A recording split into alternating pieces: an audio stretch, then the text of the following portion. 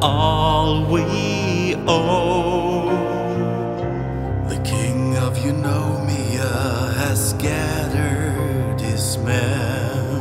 The battle for our future can't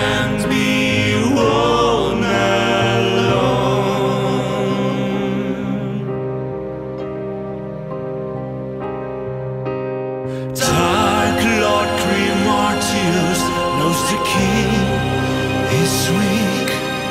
He wants to take the throne for himself. All he cares about is destruction and hate. He slaughtered our men and struck them to the ground.